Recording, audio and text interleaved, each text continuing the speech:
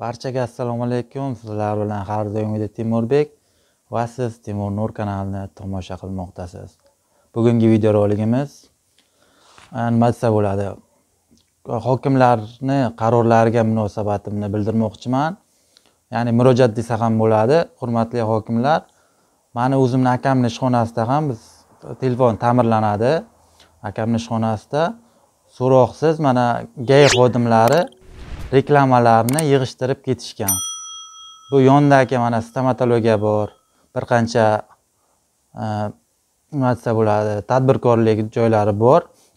O'shalardan ogohlantirishsiz so'roqsiz reklama banner reklamalarni olib ketishgan. Bu holat mana andijonda ham bo'lgan. Bizani man aytayotgan holatim qashqadaryo viloyati shahrisabz shahrida bo'lgan holat. Man o'zim yo'qligim sababli buni suratga ololmadim yoki video tasvir qila olmadim. Lekin ana shu holat andijon viloyatida ham bo'lgan ekan. Shu rasmlarni internet tarmog'ida ko'rib qoldim telegramda va shu videoni qilishga qaror qildim. Mana shu rasmlarni mana ko'rishingiz mumkin. Mana bu yerda mana ko'rsatamiz. Mana shu holatlar shahrisabz shahrida bugun mana ikki ming yigirma birinchi yil o'n uchinchi yanvarda mana shu holat bo'lmoqda. Man nima demoqchiman bu gapim bilan? Bu gapim bilan mana tadbirkorlikka qarshilik qilib desa ham bo'ladi. Man prezidentimiz qancha jon kuydirib aytmoqdalar tadbirkorlikka yordam beringlar qo'llab quvvatlanglar deb prezidentimiz jon kuydirib aytmoqdalar biz iqtisodiyotimizni yanada erkinlashtirish tadbirkorlarga keng yo'l ochib berish siyosatini bundan keyin ham qat'iy davom ettiramiz.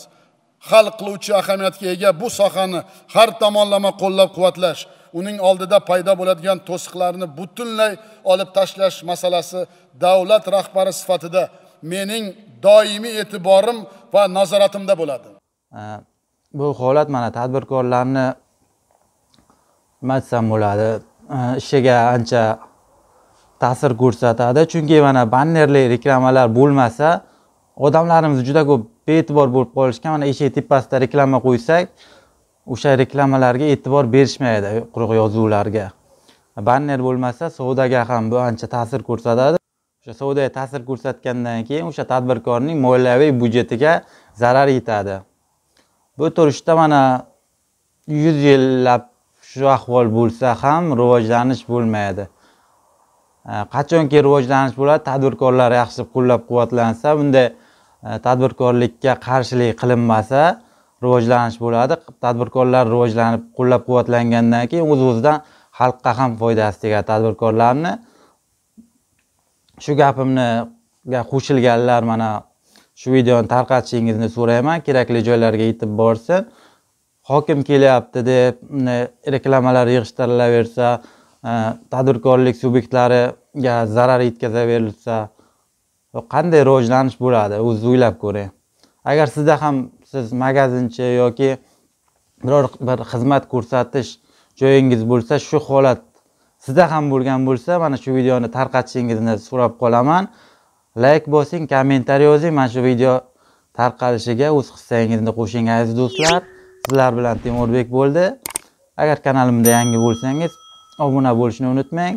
Sog' bo'ling omon bo'ling. Keyingi videolarda ko'rishguncha do'stlar.